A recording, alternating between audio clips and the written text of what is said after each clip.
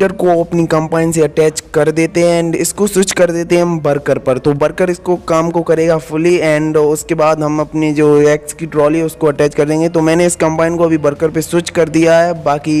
सारे के सारे पार्ट्स खुल चुके हैं